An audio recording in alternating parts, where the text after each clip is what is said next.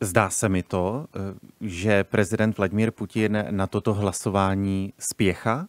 Určitě, určitě a tady vlastně koronavirus mu do značné míry překřižoval plány, a k tomu se ještě dostanu asi později, ale opravdu prezident Putin na to spěchá. Proč? Protože, jak jsem řekl už na začátku, on se snaží si zajistit další možnost zůstat u moci, protože podle platné ústavy on už by nemohl znovu kandidovat, nemohl by se znovu zúčastnit prezidentských voleb. A tato operace, nebo tak tyto přípravy na uh, možné setrvání u moci začaly víceméně minulý rok a mluvilo se o několika možnostech. Tady stojí třeba za zmínku možnost uh, vytvoření jakéhosi, jakéhosi nového soustátí spolu s Běloruskem, ale na to Bělorusko nepřistoupilo, prezident Lukašenka na to nepřistoupil a to třeba vedlo i k tomu, že vztahy mezi oběma prezidenty jsou nyní opravdu na bodu mrazu.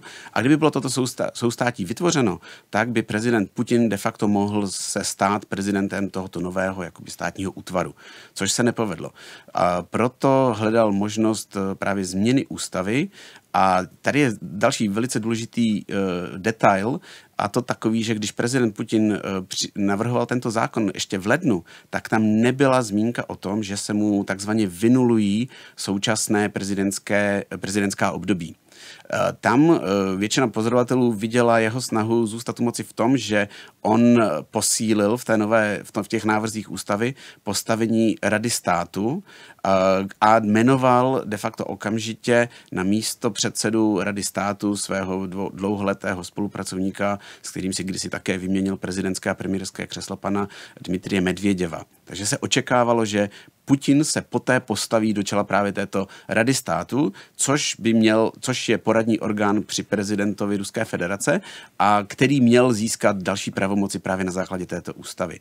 Změna se stala až v březnu kdy vlastně eh, byla to poslankyně legenda eh, sovětské kosmonautiky paní Tereškovová, která navrhla právě tento bod, aby se vynulovaly současná období stávajících prezidentů, tedy de facto jednoho prezidenta a prezident Putin s tím souhlasil. Takže to nebyla jakoby na oko iniciativa prezidenta Putina, byla to iniciativa konkrétní poslankyně paní Těrškové, ale bylo jasné, jako vši, vši, všichni měli jasno, že zatím samozřejmě musí stát prezident Putin. A bylo jasné, že spěchá na to, protože ten proces uh, vlastně měl být ukončen 22. dubna, kdy se mělo konat, to byl ten prvotní termín toho všelidového hlasování. Ale koronavirová krize to hodně uh, narušila. Sociologové z Bělanovského skupiny napsali, eh, že citují státní propaganda přestala působit. Hlavním objektem negativních hodnocení se stal obecně prezident Putin.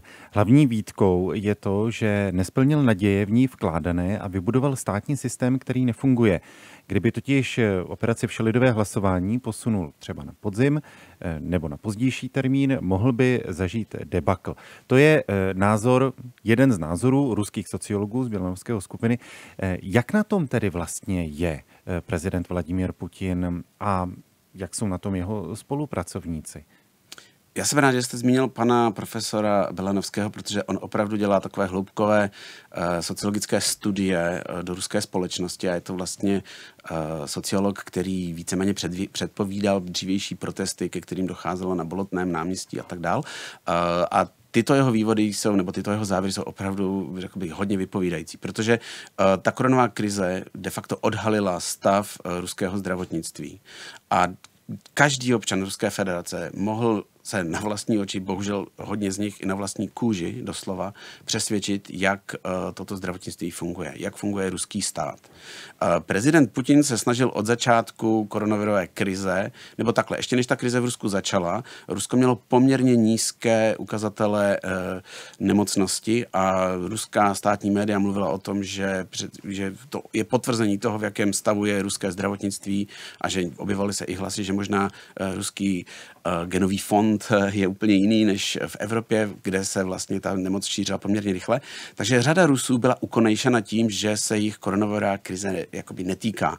Až když tady udeřila, tak co prezident Putin udělal, uh, musel takhle, snažil se rozdělit role. V Rusku nebyla například zavedena celostátní karanténa. On přesunul zodpovědnost za boj s koronavirem na gubernátory, na starosty měst a sám občas eh, vystoupil veřejně na, v televizi, ale ne veřejně na veřejném prostranství. Schoval se do své rezidence v Novoogarevu a v těch svých vystoupeních, televizních vystoupeních k národu de facto jenom oznamoval uh, sociální a ekonomické balíčky, ohlásil uh, celolidové volno, že vlastně všichni mohou zůstat doma a budou pobírat plný plat. Následně začal ohlašovat dělat různé ekonomické kroky podpory třeba eh, podnikatelů a tak dál, ale ten negativ eh, za ten koronavir eh, vlastně odnášeli lidé v regionech na místě. Ale ruští občané nejsou natolik hloupí, aby nepochopili, nevěděli, co se s nimi děje. A protože se to opravdu dotklo de facto každého, tak spoustu, spoustě lidí, a to, co je to právě, co pan Belanovský potvrzuje, už toho mají dost a spojují si tenhle tu naštvanost nebo ten, tento stav právě s prezidentem Putinem, protože třeba například studenti vysokých škol vlastně oni za celý život poznali pouze jediného prezidenta, pouze s tím obdobím, kdy byl prezidentem Dmitrij Medvedev. Takže Putin se stává personifikací této naštvanosti.